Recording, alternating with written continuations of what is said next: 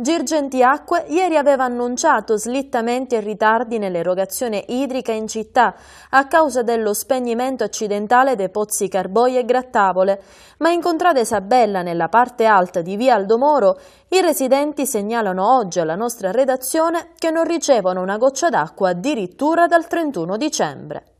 Stiamo parlando in particolare del mancato approvvigionamento in via delle Sequoie, in via Belgio e in via Paesi Bassi. Cisterne quasi all'asciutto nelle abitazioni di queste strade, dopo ben 11 giorni di mancata erogazione.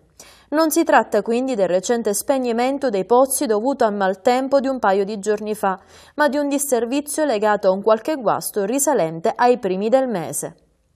Passiamo ad un altro quartiere periferico, quello della Perriera. Qui ci hanno segnalato la scarsa illuminazione quasi del tutto mancante in piazza La Rosa. Il posteggio nelle ore serali pare sia totalmente al buio, divenendo così pericoloso per chi lascia lì le proprie automobili. E sempre alla Perriera, nel sistemare una perdita idrica in zona via Amendola, gli operai di Girgenti Acque hanno combinato un piccolo guaio. Hanno perforato il tetto di un garage collocato sotto la strada in corrispondenza della via Ariosto.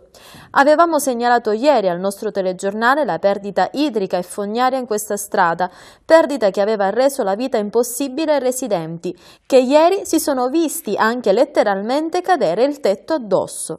Il proprietario del garage aveva immediatamente oltretutto pubblicato la foto su Facebook per rabbia disperazione, rimbalzata poi da un profilo all'altro, compreso quello del consigliere Monte, ma gli operai di Dirgenti Acque sono corsi subito ai ripari, provvedendo a risolvere l'inconveniente.